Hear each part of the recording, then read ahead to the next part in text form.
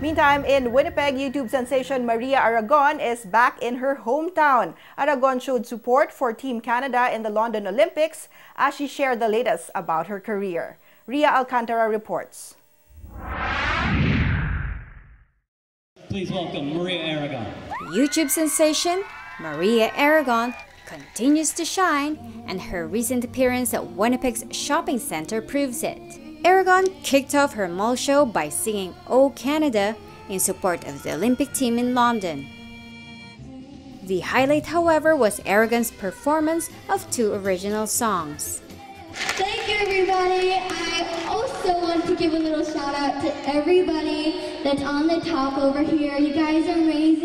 Everything that's happened after the Lady Gaga experience was so crazy. I got a lot of opportunities open up for me in my career, and I will always be thankful for what Lady Gaga did. More than a year after her Lady Gaga experience, Aragon is now under Toronto based record label owner Stephen Nowak. We're very excited because Maria is being produced by the biggest producer in the history of music. We're very excited and we're going to bring her all over the world.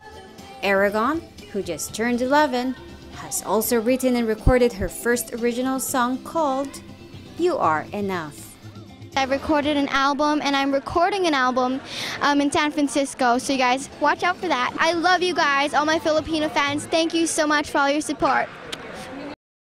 Winnipeg's most famous young Filipina Aragon has proved that everyone is good with something, as she would say.